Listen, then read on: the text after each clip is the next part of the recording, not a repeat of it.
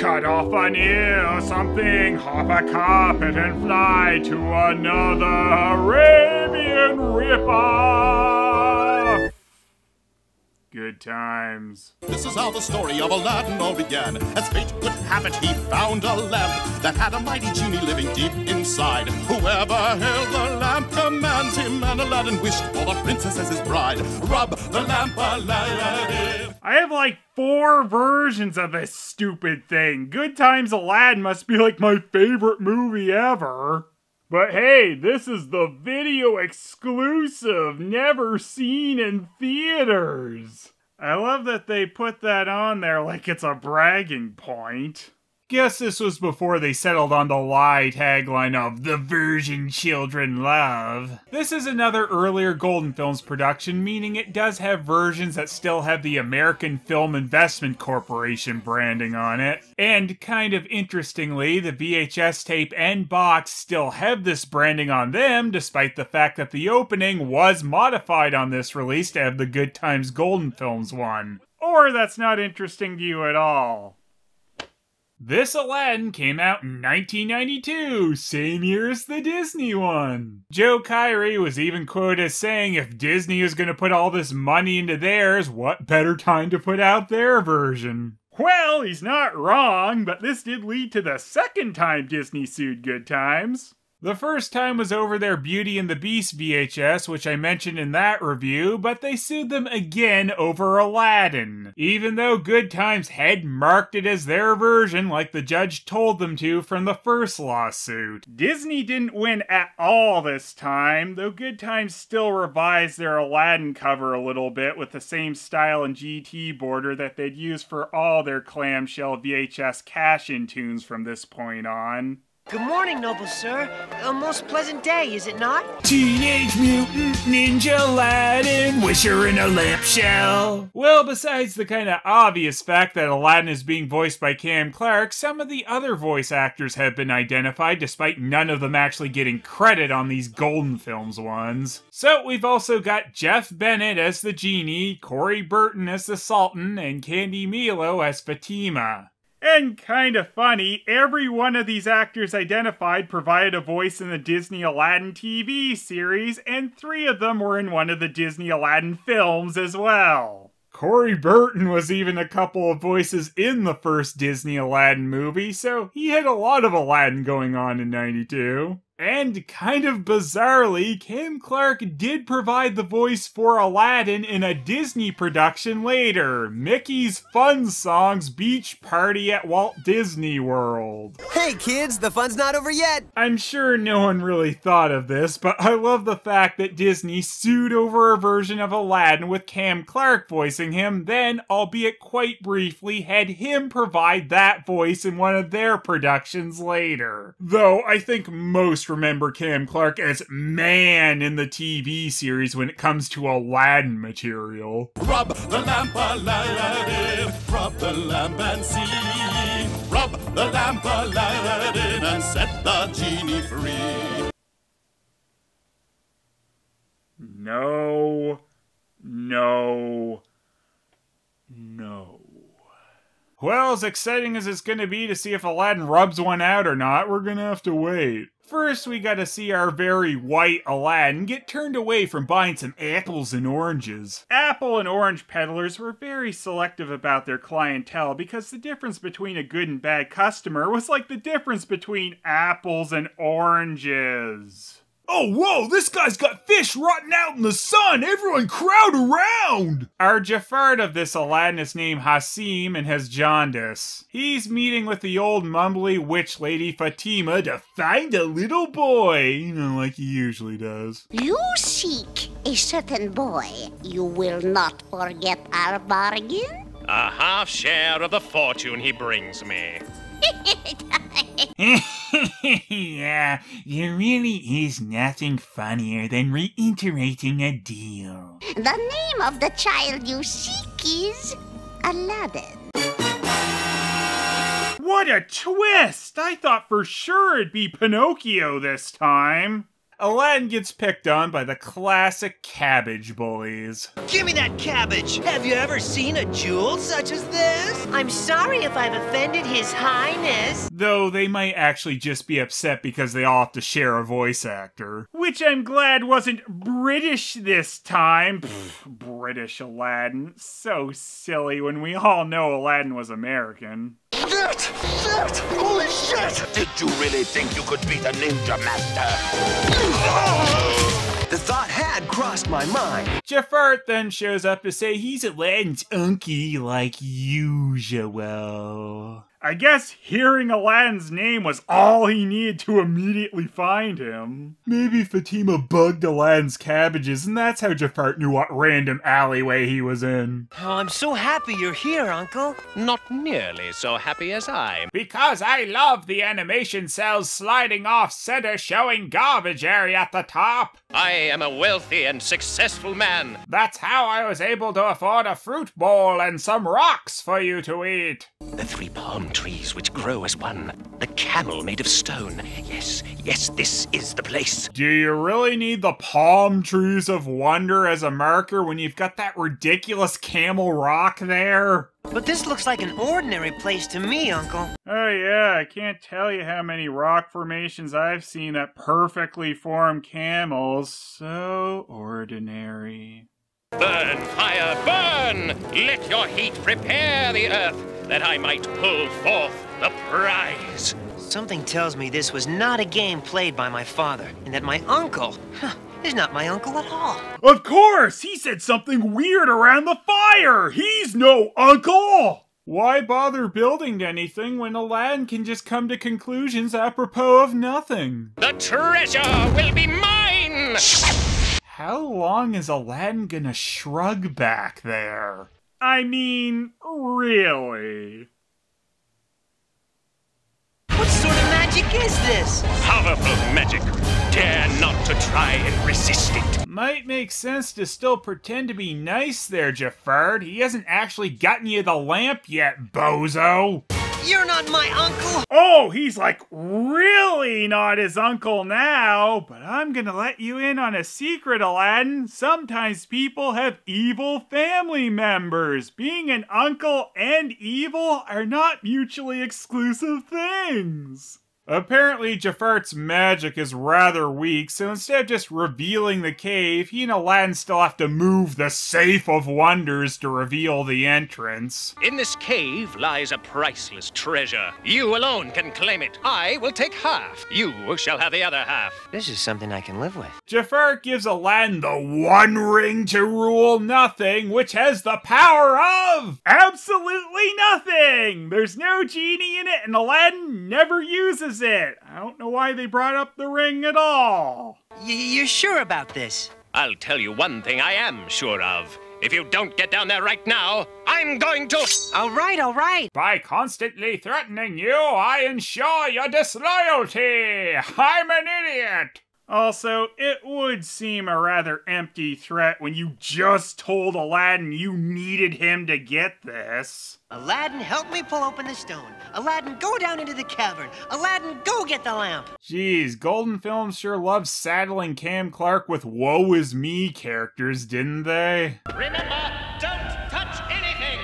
Oh man, how is Aladdin gonna resist the urge to impale himself on those spikes, though? Now this is what I call a garden. Right, inside this underground cavern is a sky. Makes sense. Can't wait until Aladdin finds the Golden Lagoon.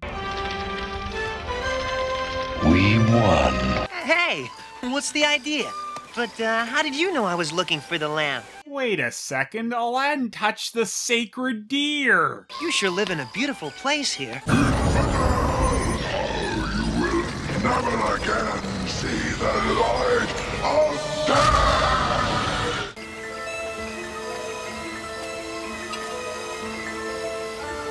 Oh yeah, that's perfect scoring there. Fits so well. Aladdin starts picking some jewel flowers and fills his sack, and I kept waiting for the squirrels and deer to turn evil or something, but nah. Greedy Aladdin just saunters out with his jewels. Apparently, touching nothing but the lamp was just a suggestion in this one, not a rule. It's not until Aladdin mocks Jafar about not giving him the lamp that he gets sealed in the cave by him. But then he prays to the lamp for the genie to come out. Despite the song at the beginning singing about how Aladdin needed to rub one out, all Aladdin really had to do was slightly brush it with his hand. It is I, oh master, I, the slave of the lamp. Do I really want to see this?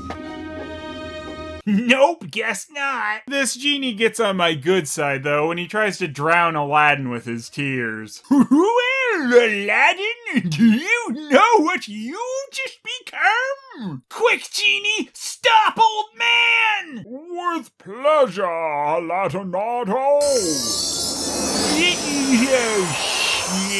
No! I'll make you useless next time, Aladdin! Next time! Ask anything, anything. How about we start with your getting rid of this flood? Luckily for him, Aladdin doesn't seem to have a number limit on his wishes in this one, because that would have kind of sucked to have burnt one on that. In actual moving the plot along wish news, Aladdin warps home. You think you've been worried? I've been stuck in a cave all day. Hasim, he lied to us. Yeah, that's the only thing that could have meant. I, I, I've got this magic lamp with a genie inside. He helped me to get out of the cave and. Magic is dangerous, Aladdin. Put the lamp away and don't think of it again. Magic lamp? You're grounded, Aladdin! Magic here, magic there. I don't like it. It's not done. Okay? Alas, your mother has forbid you to use the lamp. I'm stuck here again. Okay, I do rather like the genie grumbling through the lamp at Aladdin. Give her some time. She'll come around. In the meantime, at least we won't starve. Ladies won't get it all. Maybe we will starve. Ooh, well, and so, good son that he was, Aladdin obeyed his mother's wishes and put the lamp away. Suddenly I'm narrating this. Aladdin, Get over here! The Sultan's daughter goes to the baths in the city square today. The penalty for looking upon the face of his daughter is death beneath the hooves of stampeding camels. Death beneath the hooves of stampeding camp. Who thinks up these things? Wow, this is the sassiest Aladdin. I kind of wonder why the Sultan's going to all this trouble to stop everyone from seeing what his daughter looks like. Like she's gonna look really mediocre, right? That's gotta be the twist. It seems a bit foolish if you ask me. Why, if anyone in the kingdom but you dared to call me foolish, I would have their head. It's nice to know there are some advantages to being your daughter. I would eat you if you want my daughter. But in a twist, she's really old Yellow Eye's daughter. What? Oh, kindest of the kind. Oh, wisest of the wise. Oh. Oh, be still, Ali. My daughter comes to bathe, not to listen to your babble. Oh, of course. Oh, glorious one. She comes for bubbles, not babble. Ali is very funny. Bathhouse Ali, not so glorious, see Elia, whatever. They haven't built the bathhouse Aladdin can't break into. Breaking into bathhouses is a common thing you do, Aladdin? Ali has the finest bathhouse in all the kingdom. This is a treat I have long looked forward to. Talk about a treat. She's. she's incredible. What the hell? Execute him! You, you, want to marry the Sultan's daughter? You could try to let your loser son down a bit more gently, Mrs. Aladdin. Oh, Aladdin, you are my only son, and I love you dearly.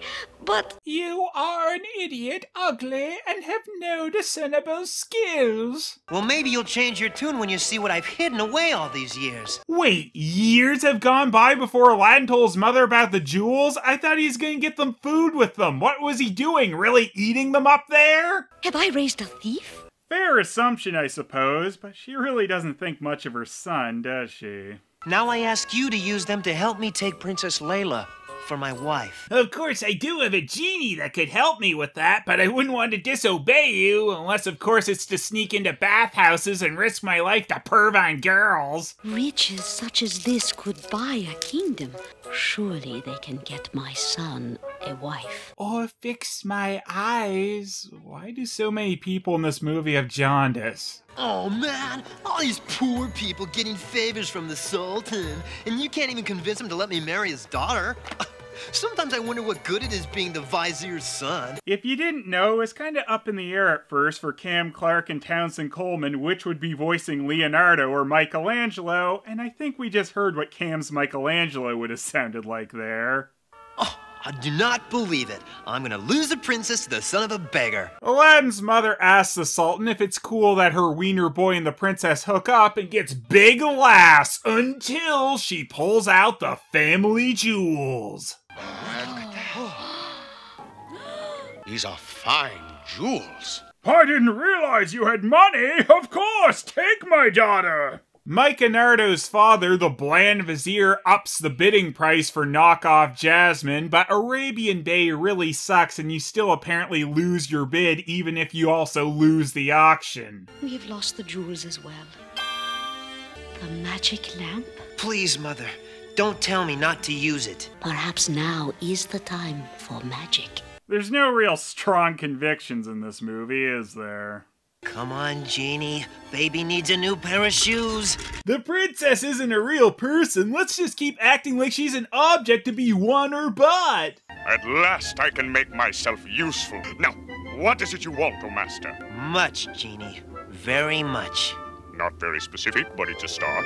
Alright, I gotta admit, Jeff Bennett's Genie does have some pretty funny lines in this. What is that? I ordered no music to be played. Prince Leonardo Cowabunga, he's better than Mike Nardo. Who is this man? I believe he is to be your husband, my dear. Look at all the money that it's implied he has. Marry that idiot, and then you can meet him later. Bummer, dude. And so, Aladdin and Princess Layla were married. Cool, they'll talk to each other after the wedding. It's a better story that way. As a wedding gift, Aladdin had the genie of the lamp build them a palace. Wow, that sure was a generous wedding gift Aladdin gave himself. Aladdin had the palace built near the city, so Layla would not grow lonely for her father. Yeah, I bet she'd really miss Mr. I'll sell you to the highest bidder. Here, Aladdin and his princess lived in splendor. hmm. They grew more in love with each passing year. Soon they even thought of saying hi to each other. So, the boy discovered the secret of the lamp, did he? I can't believe when I locked him in that cave with a magic lamp, eventually he figured out it was magic. I'll have that lamp yet. Hey, Genie, kill Jafar, would ya? What? Oh, shut up! He can shoot laser beams? Why does he need the lamp to get rich? Don't you worry when Aladdin goes off on these hunting trips? No, it gives me hope every time that he won't come back. Trade your old lamps for new ones! Well, luckily Aladdin told his wife of years now about his magic lamp. Oh wait, never mind, they don't talk and Aladdin is an idiot, so Layla trades the shit out of it. I am your new master, and you will obey me! Okay. yeah, I guess that's the best reaction to give to that. Jafar does his usual steal Aladdin's palace and move it to his homeland shtick, complete with assume his wife will just bang whoever has the deed to the place. And the Sultan takes his daughter's disappearance quite well. Oh, Your Majesty, Fatima the medicine woman begs to see you. Anyway, Jafar apparently betrayed his business partner for no particular reason other than moving the story along so that Aladdin can know where to go and save his wife and talk to her for the first time. My mother remains here in this city to ensure my return. Do not fail. Your life, your mother's life, and that of my Layla depend upon it. He's a real fun father-in-law, that Sultan. Well, there's no reason for her to start talking to you now, was there? Can I be dreaming? No, you're not dreaming, Layla. Darn, 39 minutes in and words have been exchanged between the two of them. They ruined it. Anyway, it's gonna be really exciting to see how Aladdin gets the lamp. Uh, he just steals it from Jafar while he's sleeping, and there's no resistance whatsoever. Aladdin! Shh! We need to be quiet, even though I could just wish him to oblivion now. Who dares disturb the sleep of the Master of the Lamp? I've got bad news for you, Hassim. That gum you like will never come back in style. Anyway, because Aladdin is such a doofus, he doesn't make any kind of wish to imprison Hassim or make sure he can't bother them again, so he's just gonna come up with a new scheme. You have the nerve to come here asking for my help. I come not asking for your help. What is it you want then? Your robes and veil. So he either just murdered or stripped her. That's nice. In the original story, there is something like this part with the sorcerer's brother coming to avenge him, and he kills the old bat to dress up as her. So I'm glad there's a cartoon that finally included this. And Fatima never appears again, so score one for Jafar on the kill count. Maybe two. For were it not for you, I would still be captive. Oh, it's Jafar. I get it. Your child's health can be guaranteed if you will hang the egg of a roc from the ceiling of the baby's nursery. The plan here is so old dummy Aladdin will wish for the roc's egg from the genie because the roc is the genie's true master. This is actually something from the original tale, too. It's just kind of weird that a giant bird would be the magical genie's ultimate master. Anyway, the genie lets Aladdin know about Jafar's cosplay, so he lures him into a sword battle instead of just making a wish to stop him. But at least this means a great final battle.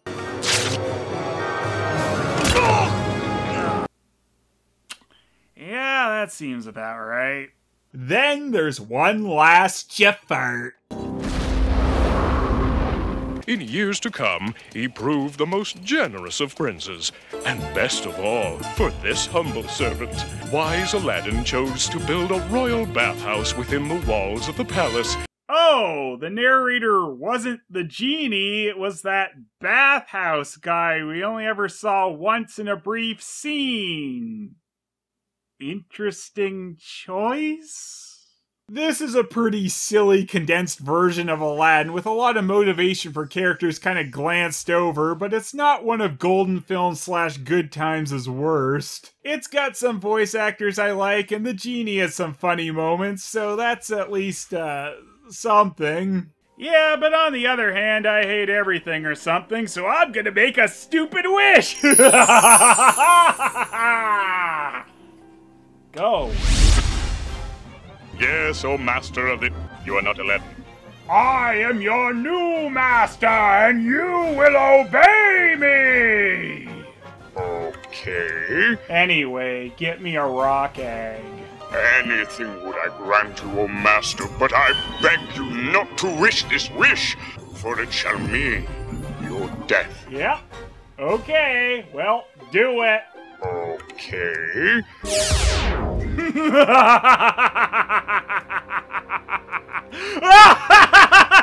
this isn't a roc's egg.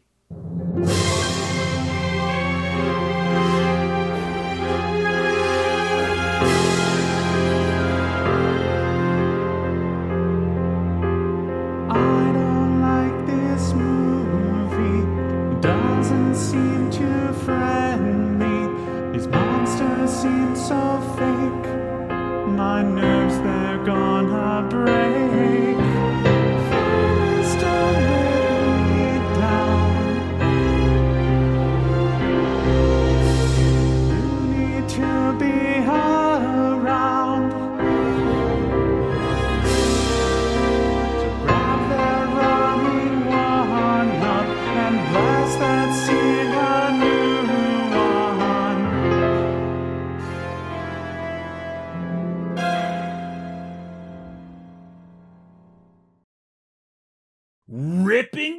Old bat. No one cared that you died. Okay.